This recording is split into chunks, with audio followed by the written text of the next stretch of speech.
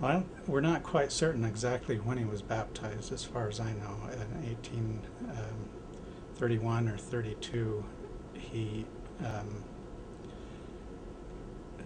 was probably baptized, uh, went off on a mission to um, serve. That that would have been common in those days. This was a young church. The people would have been uh, fresh members of the church, and the, there was the command and the and the responsibility to go out and proclaim the gospel. And Joseph uh, encouraged them, and they would go out and preach. It wouldn't have been uncommon for them to have done that. I think the people would have taught probably a lot of their own traditions that they, and then what they had learned from the missionaries who had taught them.